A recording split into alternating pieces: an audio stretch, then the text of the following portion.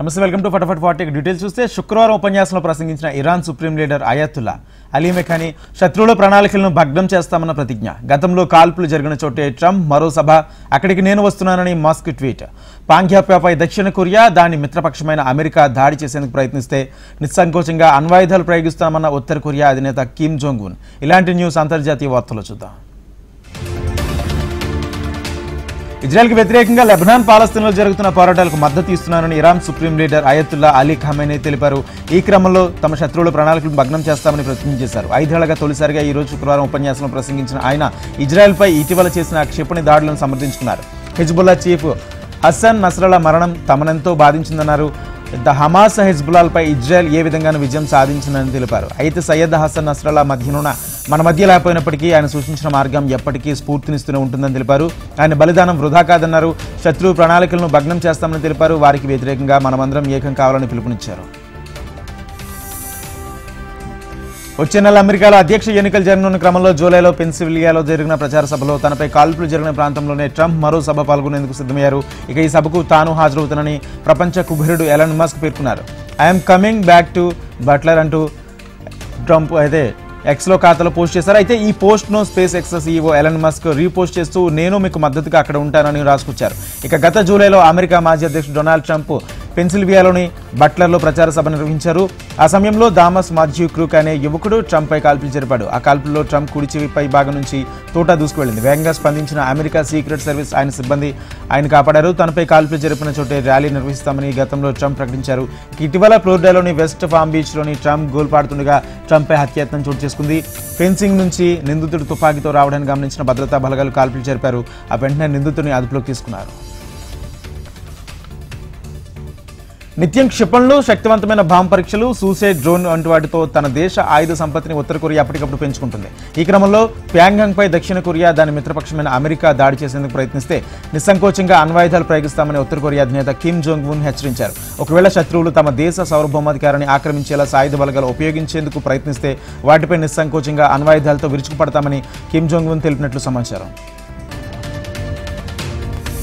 Lebanon రాజధాని బీర్ట్లో Israel మరో భారీ వైమానిక దాడి చేపట్టినట్టు తెలుస్తుంది. హెజ్బుల్లా సంస్థ అధినేత హసన్ నస్రల్లా మరణం తర్వాత అతడి వారసుడిగా భావిస్తున్న హషీం నసీబుద్దీన్ లక్ష్యంగా ఈ దాడి చేసినట్లు తెలుస్తుంది. హషీం ఒక అండర్ గ్రౌండ్ బంకర్లో సీనియర్ హెజ్బుల్లా నేతలతో సమావేశంలో ఉండగా ఈ దాడి జరిగినట్లు తెలిసింది అయితే ఈ ఘటనలో హషీం గాయపడ్డారా? అతడి పరిస్థితి ఎలా ఉందనేది తెలియరాలేదు. హసీం ప్రస్తుతం హెజ్బుల్లా ఎగ్జిక్యూటివ్ కౌన్సిల్ హెడ్గా ఉన్నాడు. అస్సాం నస్రల్లాకు హవీం దగ్గర బంధువు రెండు వేల పదిహేడులో అతడికి అమెరికా ఉగ్రవాదిగా ప్రకటించింది. ఇజ్రాయెల్ ప్రధాని బెంజమిన్ నెతన్యూహో గురించి బ్రిటన్ మాజీ ప్రధాని బోరిస్ జాన్సన్ సంచలన ఆరోపణలు చేశారు. నెతన్యూహో ఒకసారి తన వ్యక్తిగత బాత్రూమ్ను ఉపయోగించారని ఆ తర్వాత అందులో మాటలు వినే పరికరాలు అమర్చి ఉన్నట్లు గుర్తించామని వెల్లడించారు. తాను బ్రిటన్ విదేశాంగ మంత్రిగా ఉన్నప్పుడు ఈ ఘటన చోటు చేసుకుందన్నారు. ఈ మేరకు త్వరలో విడుదల కానున్న తన పుస్తకంలో నాటి సమావేశాన్ని పేర్కొన్నారు. అన్లీడ్ డే పేరుట జాన్సన్ బోర్సన్ తన పుస్తకం రాసి ఈ నెల విడుదల కానుంది. అందులో రెండు వేల పదిహేడులో నెతన్యూహోతో జరిగిన మీటింగ్ గురించి వెల్లడించారు. నేపాల్ భారతదేశం బంగ్లాదేశ్ నలభై మెగావాట్ల విద్యుత్ వ్యాపారం చేయడానికి త్రైపాక్షిక ఒప్పందంపై సంతకం చేశాయి. ఈ ఒప్పందం ప్రకారం జూన్ పదిహేను నుంచి నవంబర్ పదిహేను వరకు ప్రారంభ దశలో నేపాల్ భారత గ్రిడ్ ద్వారా బంగ్లాదేశ్కు నలభై మెగావాట్ల విద్యుత్ను ఎగుమతి చేస్తుంది. సరిహద్దు విద్యుత్ వ్యాపారాన్ని సులభతరం చేసేందుకు నేపాల్ భారత్ మరియు బంగ్లాదేశ్ త్రైపాక్షిక ఒప్పందంపై సంతకాలు చేశాయని అధికారులు తెలిపారు. ఒప్పందం ప్రకారం నేపాల్ తన మిగులు విద్యుత్ను ప్రతి సంవత్సరం జూన్ పదిహేను నుంచి నవంబర్ పదిహేను వరకు భారతదేశం మీదుగా బంగ్లాదేశ్కు ఎగుమతి చేస్తుంది. నేపాల్ నుంచి బంగ్లాదేశ్కు విద్యుత్ సరఫరా చేసేందుకు భారత్ ఏర్పాట్లు చేస్తుంది. మొదటి దశలో నేపాల్ భారత భూభాగం ద్వారా బంగ్లాదేశ్కు నలభై మెగావాట్ల జల విద్యుత్ను ఎగుమతి చేస్తుంది. మెటా సీఈఓ మార్క్ జోగర్బర్గ్ అరుదైన ఘనతను సొంతం చేసుకున్నారు. ప్రపంచంలోనే అత్యంత సంపన్నుల జాబితాలో రెండో స్థానంలో నిలిచారు. బెజ్ జోసెఫ్ను దాటి తొలిసారిగా ఈ స్థానం చేరుకున్నారు. ఈ విషయాన్ని బ్లూంబర్గ్ బిలియనియర్ ఇండెక్స్ వెల్లడించింది. బ్లూంబర్గ్ బిలియనియర్స్ ఇండెక్స్ ప్రకారం జూకర్బర్గ్ ప్రపంచ రెండు వందల ఆరు బిలియన్ డాలర్లుగా ఉంది. అయితే అమెజాన్ వ్యవస్థాపకుడు జెఫ్ బేజస్ సంపద రెండు వందల ఐదు బిలియన్ డాలర్లు ఇక ఈ జాబితాలో టెస్లా అధినేత ఎలన్ మస్క్ రెండు వందల యాభై ఆరు బిలియన్ డాలర్లతో అగ్రస్థానంలో కొనసాగుతున్నాడు. భారతీయ బిలియనియర్ ముఖేష్ అంబానీ నూట ఏడు బిలియన్ డాలర్ల సంపదలో పద్నాలుగు స్థానంలో ఉండగా వంద బిలియన్ డాలర్లతో గౌతమ్ అదాని పదిహేడవ స్థానంలో ఉన్నారు. ఇటీవల మెటా షేర్లు అంచనాలకు మించి రాణించాయి రెండో త్రైమాసికంలో అమ్మకాలు మెరుగైన వృద్ధి నమోదవడంతో పాటు ఏ చాట్ బాట్లతో మరింత శక్తివంతంగా మార్చేందుకు లార్జ్ లాంగ్వేజ్ మోడల్ను ప్రపంచంతో మెటా షేర్లు ఇరవై మూడు శాతం పెరిగాయి. కంగులో ఘోర పడవ ప్రమాదం జరిగింది దక్షిణ క్యూ ప్రావిన్స్లోని మినోవాపట్నం నుంచి గోవాపట్నానికి రెండు వందల డెబ్బై ఎనిమిది మంది ప్రయాణికులతో బయలుదేరిన బోటు ఓవర్లోడ్ కారణంగా గోమా తీరానికి కేవలం వంద మీటర్ల దూరంలో బోల్తపడింది. కివు సరస్సులోని ఈ ప్రమాదం చోటు చేసుకుంది. ప్రమాదంలో డెబ్బై ఎనిమిది మంది ప్రాణాలు కోల్పోయారు. మిగతా రెండు వందల మంది రెస్క్యూ సిబ్బంది కాపాడారు. ఈ పడవ ప్రయాణంలోని ప్రమాదంలో డెబ్బై ఎనిమిది మంది ప్రాణాలు కోల్పోయారు. మిగతా వారిలో కొందరు ఈదుతూ ఒడ్డుకు రాగా కొందరిని రక్షణ దళాలు కాపాడే దక్షిణ Kivu province governor Jean Jacquin Purusi మీడియాకు తెలిపారు. అయితే మరణాలకు సంబంధించి ఖచ్చితమైన సంఖ్య తెలియలేదని మరో రెండు రోజులు పడుతుందన్నారు. ఎందుకంటే రెస్క్యూ ఆపరేషన్ కొనసాగుతుందన్నారు. గల్లంతైన డెబ్బై ఎనిమిది మందిలో అందరి మృతదేహాలు లభ్యం కాలేదని తెలిపారు. కాంగో ప్రభుత్వ బలగాలకు ఎం ట్వంటీ త్రీ తిరుగుబాటుదారులకు మధ్య గత మూడేళ్ళుగా జరుగుతున్న యుద్ధ కారణంగా పలు రోడ్ల మార్గాలు మూసివేశారు. గోమాకు చేరుకోవడానికి చాలా మంది పడవలను ఆశ్రయిస్తున్నారు. దాంతో పడవలు కిక్కిరిసిన జనం జనంతో రాకపోకలు సాగిస్తున్నాయి. ఈ క్రమంలో తాజా ప్రమాదం జరిగింది. కాగా యుద్ధమే ఈ ప్రమాదానికి కారణమని పలువురు మండిపడుతున్నారు. ఢిల్లీలో డ్రగ్స్ రాకెట్ అంశంలో కాంగ్రెస్పై విమర్శలు గుప్పించిన అమిత్ షా మహారాష్ట్ర సచివాలయంలో అనూహ్య పరిణామం రిజర్వేషన్లు పెంచేందుకు రాజ్యాంగ సవరణకు తీసుకురావాలని ఎన్సీపీ నేత శరద్ పవార్ డిమాండ్. సీఎం నివాసాన్ని ఖాళీ చేసిన ఆప్ అధినేత ఢిల్లీ మాజీ ముఖ్యమంత్రి అరవింద్ కేజ్రీవాల్ ఆంధ్రప్రదేశ్ ఉప ముఖ్యమంత్రి జనసేన అధినేత పవన్ కళ్యాణ్ వ్యాఖ్యలపై Tamil Nadu deputy CM Udhayanidhi Stalin comment. ఇటువంటి వార్తలను నేషనల్ న్యూస్లో చూద్దాం. ఢిల్లీలో వేలాది కోట్ల రూపాయల విలువైన డ్రగ్స్ రాకెట్ గుట్టురట్టు కాగా ఈ రాకెట్లో తుషార్ గోయల్ పేరు ప్రముఖంగా వినిపించింది. ఈ నేపథ్యంలో కాంగ్రెస్పై బీజేపీ అగ్రనేత అమిత్ షా తీవ్ర విమర్శలు గుప్పించారు. ఈ డ్రగ్స్ వ్యవహారంపై హస్తం పార్టీ నేత ప్రమేయం ఉండడం సిగ్గుచేటని తీవ్రంగా మండిపడ్డారు. ఒక పక్క డ్రగ్స్ ఫ్రీ ఇండియా కోసం మోడీ ప్రభుత్వం కట్టుదిట్టమైన చర్యలు తీసుకుంటుంది. ఉత్తర భారత్లో పట్టుబడిన డ్రగ్స్లో కాంగ్రెస్ నేత ప్రమేయం ఉండడం సిగ్గుచేటు ప్రమాదకరం. కాంగ్రెస్ పాలనలో పంజాబ్ హర్యానా మొత్తం ఉత్తర భారతంలోని యువత ఈ మాదక ద్రవ్యాల వల్ల ఎన్నో కష్టాలు ఎదుర్కొంటున్నారో చూసాం ఒకవైపు మోడీ యువతను క్రీడలు ఆవిష్కరణలు విద్య వైపు ప్రోత్సహిస్తుంటే వారిని కాంగ్రెస్ డ్రగ్స్ ప్రపంచం వైపు మళ్ళించాలని అనుకుంటుందంటూ డ్రగ్ డీలర్లు రాజకీయ పలుకుబడితో సంబంధం లేకుండా ఆ నెట్వర్క్ ఎక్కడున్నా మోడీ ప్రభుత్వం పికిలించి వేస్తుందంటూ ఎక్స్ వేదికగా అమిత్ షా ట్వీట్ చేశారు. మహారాష్ట్ర సచివాలయంలో అనూహ్య పరిణామం చోటు చేసుకుంది. ఆదివాసీల రిజర్వేషన్లపై ప్రభుత్వం వ్యవహరిస్తున్న తీరును నిరసిస్తూ సొంత వర్గం ఎమ్మెల్యేలు ఆందోళన చేపట్టారు. ఈ క్రమంలో డిప్యూటీ స్పీకర్ సహా కొందరు ఎమ్మెల్యేలు ఒక ఎంపీ సచివాలయం మూడో అంతస్తు నుంచి దూకారు. అయితే అక్కడ సేఫ్టీ నెట్ ఉండడంతో వీరికి ఎలాంటి ప్రమాదం జరగలేదు. ఈ పరిణామాలతో కొద్దిసేపు ఉద్రిక్త పరిస్థితి నెలకొంది. ధన్గఢ్ కమ్యూనిటీకి ఎస్టీ కేటగిరీలో చేర్చాలన్న డిమాండ్ను మహారాష్ట్ర ప్రభుత్వం పరిగణలోకి తీసుకుంది. దీన్ని వ్యతిరేకిస్తూ ఆదివాసీ వర్గానికి చెందిన NCP MLA deputy speaker Narahari జుగ్వర్తో పాటు బీజేపీ ఎంపీ హేమంత్ సావ్రా ఎమ్మెల్యేలు కిరణ్ లహాపాటి హెమరాన్ భాస్కర్ రాజేష్ పాటిల్ నిరసన చేపట్టారు సచివాలయంలోని మూడో అంతస్తు నుంచి కిందకు దూకారు. మొదటి అంతస్తు వద్ద ఏర్పాటు చేసిన సేఫ్టీ నెట్లో పడ్డారు. పోలీసులు వెంటనే వారిని రక్షించారు. వీరికి ఎలాంటి గాయాలు కాలేదని తెలిపారు. అనంతరం వారంతా సచివాలయం ముందు బైఠాయించి ఆందోళన కొనసాగించారు. ధన్గఢ్ కమ్యూనిటీ సభ్యుల అభివృద్ధికి ప్రభుత్వం వివిధ పథకాలను ప్రకటించడంలో తమకు ఎలాంటి సమస్యలు లేవని అయితే వారిని ఎస్టీ జాబితాలో చేర్చడం తాము వ్యతిరేకిస్తున్నామని రిజ్వల్ ఈ సందర్భంగా తెలిపారు. ప్రభుత్వం తన నిర్ణయాన్ని ఉపసంహరించుకునే వరకు మంత్రాలయం వద్దే ధర్నా కొనసాగిస్తామని తెలిపారు.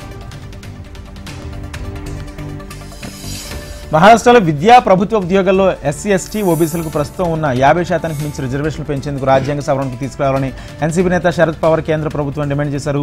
కోట కోసం ఉద్యమం చేస్తున్న మరాఠీలకు రిజర్వేషన్లు మంజూరు చేసే సమయంలో ఇతర వర్గాల రిజర్వేషన్లకు భంగం కలగకుండా జాగ్రత్తలు తీసుకోవాలని సూచించారు. ప్రస్తుతం రిజర్వేషన్లపై పరిమితి యాభై శాతం ఉందన్నారు. కాగా తమిళనాడులో డెబ్బై ఎనిమిది శాతం ఉంటే మహారాష్ట్రలో డెబ్బై ఐదు శాతం రిజర్వేషన్లు ఎందుకు ఉండకూడదని ఆయన ప్రశ్నించారు. ఇక్కడ కూడా కోటా పరిమితిని పెంచేందుకు కేంద్రం రాజ్యాంగ సవరణ తీసుకొస్తే దానికి తాము స్వాగతిస్తామని శరద్ పవార్ తెలిపారు.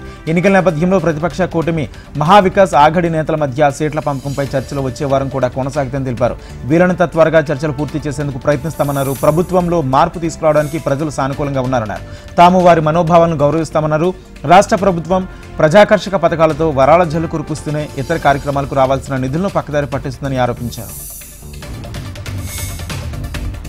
ఆ అధినేత ఢిల్లీ మాజీ ముఖ్యమంత్రి అరవింద్ కేజ్రీవాల్ సీఎం నివాసాన్ని ఖాళీ చేశారు. సివిల్ లైన్స్ ఏరియాలోని ఆరో ఫ్లాగ్ స్టాఫ్ రోడ్లోని తన ఇంటి నుంచి తన కుటుంబంతో కలిసి బయటకు వచ్చారు. ఇటీవల ఆయన ముఖ్యమంత్రి పదవికి రాజీనామా చేసిన నేపథ్యంలో ఈ పరిణామం చోటు చేసుకుంది. ఆ పార్టీ కేంద్ర కార్యాలయం సమీపంలో బంగ్లాలో ఇకపై నివాసం ఉండనున్నారు. పంజాబ్కు చెందిన ఆప్ రాజ్యసభ ఎంపీ అశోక్ మిట్టల్కు అధికారికంగా కేటాయించిన ఆ భవనం ఫిరోజ్ షా రోడ్లో ఉంది. సనాతన ధర్మాన్ని ఎవరూ నిర్మూలించలేరన్నారు ఆంధ్రప్రదేశ్ ఉప ముఖ్యమంత్రి జనసేన అధినేత పవన్ కళ్యాణ్ వ్యాఖ్యలపై తమిళనాడు డిప్యూటీ సీఎం ఉదయనిధి స్టాలిన్ స్పందించారు. వెయిట్ అండ్ సీ అని సమాచారం సమాధానమిచ్చారు సనాతన ధర్మంపై ఉదయనిధి స్టాలిన్ గతంలో చేసిన వ్యాఖ్యలు దేశవ్యాప్తంగా దుమారం రేపాయి. సనాతన ధర్మాన్ని డెంగ్యూ మలేరియాతో పోల్చారు. దీనిపై బీజేపీ సహా పలు రాజకీయ పార్టీలు నాయకులు మండిపడ్డారు. నిన్న తిరుమలలో లడ్డు వివాదంపై మాట్లాడిన పవన్ కళ్యాణ్ సనాతన ధర్మంపై విమర్శలు చేసే వారిని కూడా టార్గెట్ చేశారు. నిన్న ఆయన తమిళంలో మాట్లాడుతూ ఉదయనిధికి కౌంటర్ ఇచ్చారు.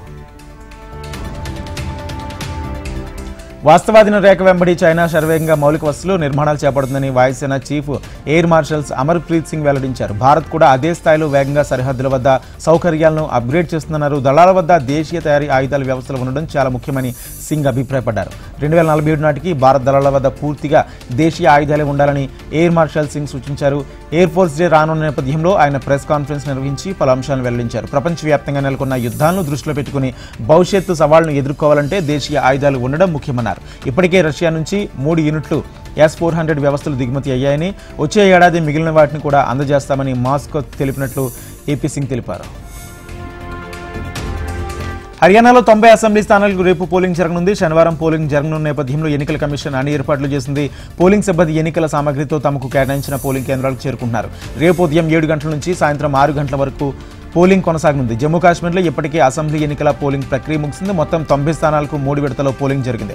సమస్యాత్మక ప్రాంతాలు ఉండడంతో విడతల వారీగా పోలింగ్ నిర్వహించాలని ఈసీ నిర్ణయించింది. ఈ మేరకు సెప్టెంబర్ పద్దెనిమిదిన తొలి విడత సెప్టెంబర్ ఇరవై ఐదున రెండో విడత అక్టోబర్ ఒకటిన మూడో విడత పోలింగ్ నిర్వహించారు. హర్యానాలో మాత్రం మొత్తం తొంభై అసెంబ్లీ స్థానాలకు ఒకే విడతలో పోలింగ్ నిర్వహిస్తున్నారు. ఈ నెల ఎనిమిదిన ఓట్ల లెక్కించి రెండు రాష్ట్రాల అసెంబ్లీ ఎన్నికల ఫలితాలు వెల్లడించనున్నారు. ఎస్సీ ఎస్టీ రిజర్వేషన్ల ఉపవర్గానికి ఆమోదిస్తూ ఇచ్చిన తీర్పును సమీక్షించాలని కోరుతూ దాఖలైన పిటిషన్పై సుప్రీంకోర్టు కొట్టివేసింది ఈ ఏడాది ఆగస్టులో ఉపవర్గీకరణకు సర్వోన్నత న్యాయస్థానం ఆమోద ముద్రవేయగా తీర్పును సమీక్షించాలంటూ పది పిటిషన్లు దాఖలయ్యాయి. వాటిపై నేడు విచారణ జరిగింది. పిటిషన్లు అన్నింటినీ పరిశీలించాం. తీర్పును సమీక్షించాల్సిన పరిస్థితి కనిపించలేదు. అందుకే వాటిని కొట్టివేస్తున్నామంటూ కోర్టు పేర్కొంది.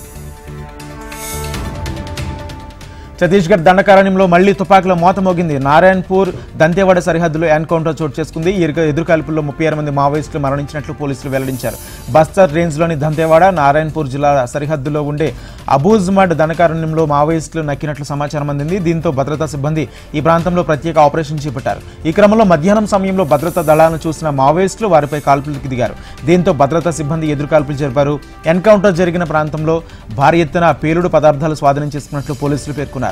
ప్రస్తుతం ఎన్కౌంటర్ కొనసాగుతుంది. రైతు రుణమాఫీపై సీఎం రేవంత్ రెడ్డి మాటలన్నీ పచ్చి అబద్ధాలేనంటూ BRS working president KTR tweet చేశారు. తెలంగాణ సీఎం రేవంత్ రెడ్డికి లేఖ రాసిన కాంగ్రెస్ సీనియర్ నేత మాజీ ఎంపీ కేవీపీ రామచంద్రరావు. హైడ్రా పేరుతో హైదరాబాద్లో కాంగ్రెస్ ప్రభుత్వం డ్రామా చేస్తుందని బీఆర్ఎస్ ఎమ్మెల్యే హరీష్ రావు వ్యాఖ్యానించారు. తెలంగాణ పోలీసులు అధికారులకు బీఆర్ఎస్ సీనియర్ నేత బాల్క సుమన్ హెచ్చరిక. ఇలాంటి ఇంట్రెస్టింగ్ వార్తలను తెలంగాణ న్యూస్లో చూద్దాం. రైతు రుణమాఫీపై సీఎం రేవంత్ రెడ్డి మాటలన్నీ పచ్చి అబద్దాలనంటూ బీఆర్ఎస్ వర్కింగ్ ప్రెసిడెంట్ కేటీఆర్ అన్నారు. వ్యవసాయ శాఖ మంత్రి తుమ్మల నాగేశ్వరరావు మాట్లాడుతూ ఇరవై లక్షల మందికి రుణమాఫీ కాలేదని చెప్పడంతో ముఖ్యమంత్రి బండారు మరోసారి బయటపడిందని తెలిపారు. ఎక్స్వే దిగ్గా కేటీఆర్ ఈ మేరకు పోస్ట్ చేశారు. వంద శాతం రుణమాఫీ పూర్తి చేశామన్న సీఎం మాటలన్నీ డొల్ల మాటలేనంటూ ఇంకోసారి తేలిపోయిందన్నారు. ఒకవైపు డిసెంబర్ తొమ్మిదిన ఏకకాలంలో రుణమాఫీ చేస్తామని మోసం చేసి మరోవైపు పది నెలలైనా ఇరవై లక్షల మందికి అందించకుండా దగా చేస్తున్నారని దిగిబట్టారు రెండు లక్షల రుణమాఫీ పూర్తయిపోయిందన్న సీఎం మాటలు పచ్చి అబద్ధాలను విమర్శిస్తున్నారు. చేస్తామన్న రుణమాఫీ ఇప్పటికీ పూర్తి చేయలేదని ఇవ్వాల్సిన రైతు బంధు సీజన్ ముగిసినా ఇవ్వలేదంటూ బీఆర్ఎస్ నేత మండిపడ్డారు. అధికారిక లెక్కల ప్రకారం ఇరవై లక్షల మంది రైతులకు అన్యాయం జరిగితే అనధికారికంగా ఇంకా ఎంతమంది అన్నదాతలు ఉన్నారోనంటూ కేటీఆర్ ఆవేదన వ్యక్తం చేశారు. కాంగ్రెస్ సీనియర్ నేత మాజీ MP KVP Ramachandra Rao Telangana CM Revanth రెడ్డికి లేఖ రాశారు. కూల్చివేతల విషయంలో కాంగ్రెస్ పార్టీ నేతగా తనకు ఎలాంటి మినహాయింపులు వద్దని అందులో పేర్కొన్నారు. సాధారణ పౌరుడి విషయంలో చట్టం ఎలా ఉంటుందో అలాగే వ్యవహరిస్తే చాలన్నారు. మీరు నేను కలగజేసుకోకుండా చట్టాన్ని తన పని తాను చేసుకుపోనిద్దాం. కాంగ్రెస్ ప్రభుత్వం చేపట్టిన మూసీ ప్రక్షాళన సుందరీకరణను స్వాగతిస్తున్న పార్టీ శ్రేయభిలాషులు కొందరు మొదటి దశలో మూసీ ప్రక్షాళన చేయాలన్నారు. రెండో దశలో సుందరీకరణ చేపడితే బాగుంటుందని మీకు సూచించాలని కోరారు. ఇక మూసీ సుందరీకరణపై మీ ఆసక్తిని సమర్థతను గమనించి ఇవి మీ దృష్టికి తీసుకురాలేదు. ఇక పేదలకు నష్టం లేకుండా మన ప్రభుత్వం చేపట్టే అన్ని పనులు స్వాగతిస్తున్న కొంతమంది నేతలు వారి స్వప్రయోజనాల కోసమే విమర్శలు చేస్తున్నారు. మూసీ విషయంలో ప్రతిపక్షాలది ముసలి కన్నీరనంటూ ప్రజలందరికీ తెలుసు.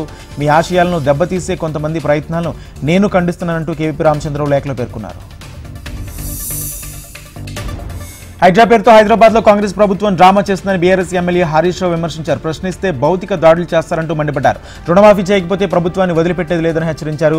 జోటా మాటలు కట్టిపెట్టి రెండు లక్షల రుణమాఫీ అమలు చేయాలని డిమాండ్ చేశారు. పేదల ఇళ్ళు కూల్చివేస్తే చూస్తూ ఊరుకోమన్నారు. రాష్ట్రంలో రౌడీ రాజ్యం నడుస్తుందని విమర్శించారు హరీష్ రావు. తప్పు చేసిన పోలీసు అధికారులను చంద్రబాబు వచ్చాక ఇంటికి పంపించారన్న విషయం గుర్తుంచుకోవాలన్న తెలంగాణ పోలీసులు అధికారులకు బీఆర్ఎస్ సీనియర్ నేత బాలకసుమన్ హెచ్చరించారు. ఏపీలో చేసిన తప్పుకు ముగ్గురు ఐపీఎస్ అధికారులకు మూల్యం చెల్లించుకోవాల్సి వచ్చిందన్నారు.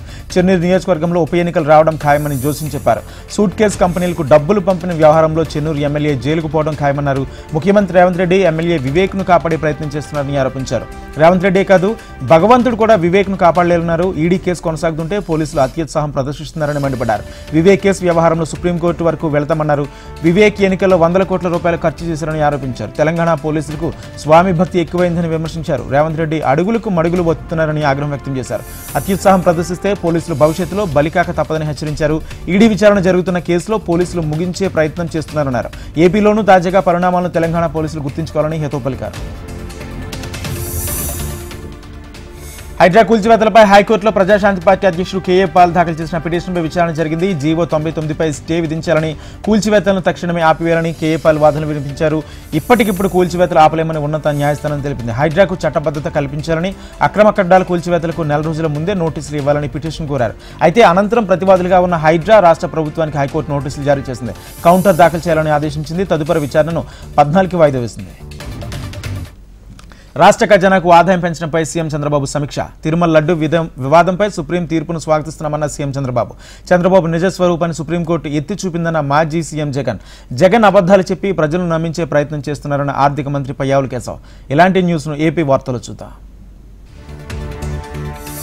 రాష్ట్ర ఖజానాకు ఆదాయం పెంచడంపై సీఎం చంద్రబాబు సమీక్ష జరిపారు. ఉదయం నుంచి వివిధ శాఖలపై సమీక్షలు జరిపిన సీఎం ఆదాయ వనరులపై అధికారులతో సమావేశమయ్యారు.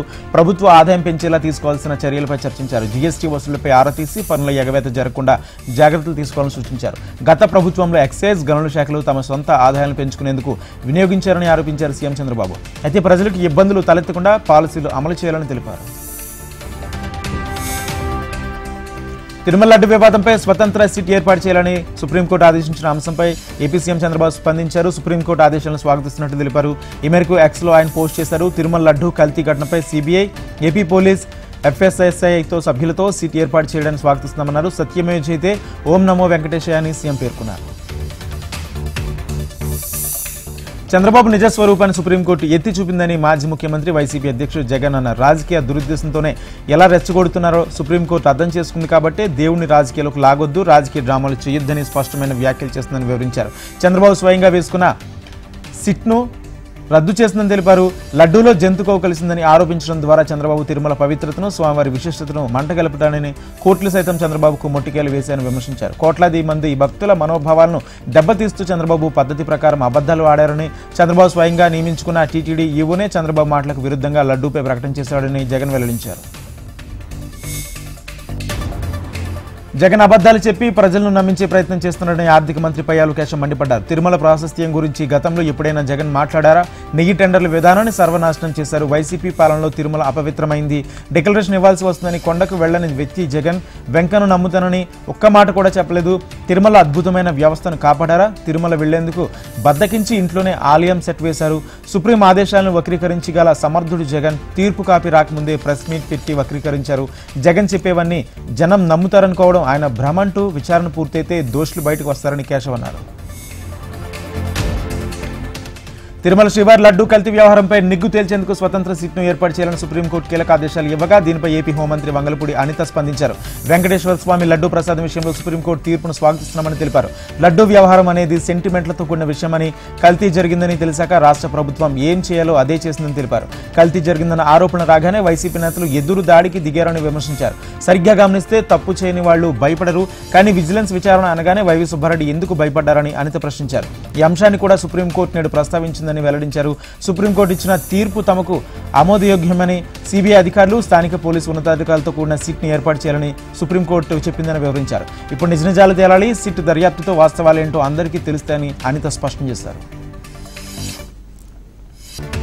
శ్రీకాకుళం జిల్లాలో అన్ని శాఖలతో ఒకే బిల్డింగ్ కిందకు త్వరలో తీసుకురానున్నామని మంత్రి అచ్చెన్నాయుడు తెలిపారు. శ్రీకాకుళం ఇంటిగ్రేటెడ్ కలెక్టరేట్ను ఆయన సందర్శించారు.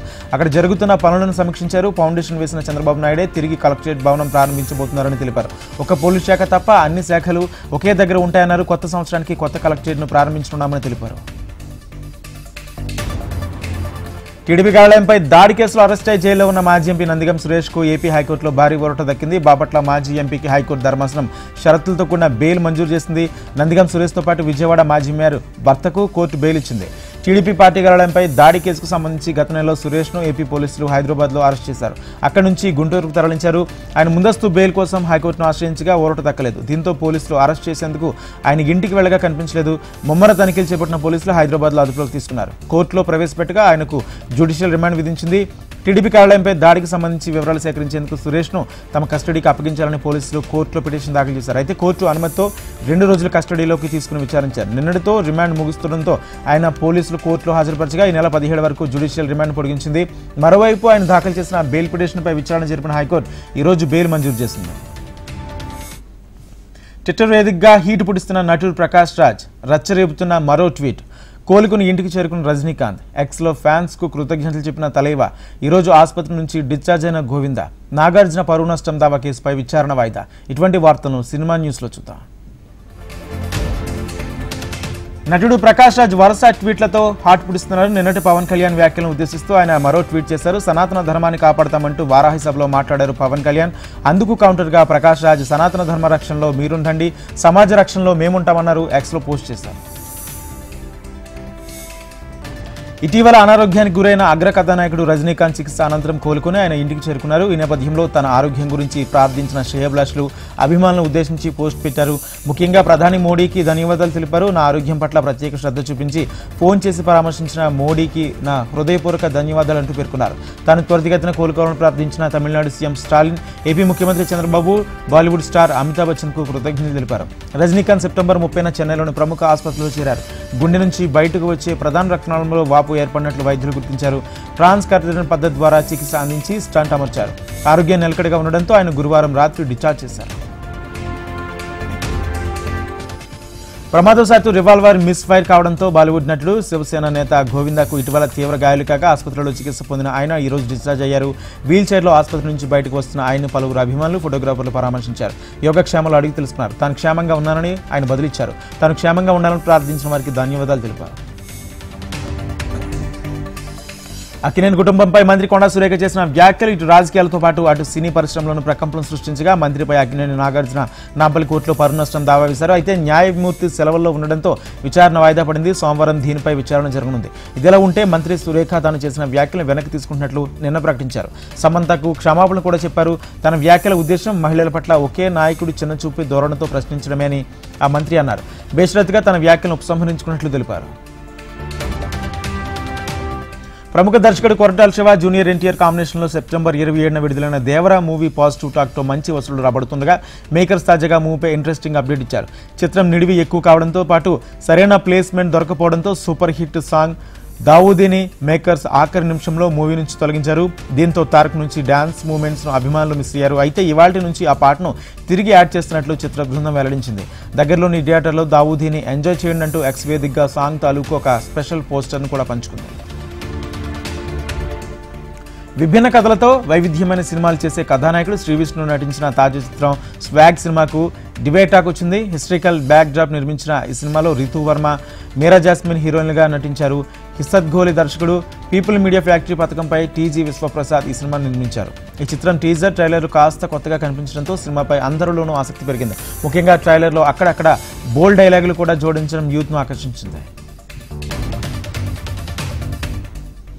సుహాస్ హీరోగా నటించిన జనక అయితే గనక సినిమా విడుదలకు సిద్ధమవుతుంది. దిల్ రాజు ప్రొడక్షన్స్ పతాకంగా నిర్మించిన ఈ సినిమా అక్టోబర్ పన్నెండున ప్రేక్షకుల ముందుకు రానుంది. సుహాస్ సరసన సంకీర్తన హీరోయిన్గా నటిస్తుంది.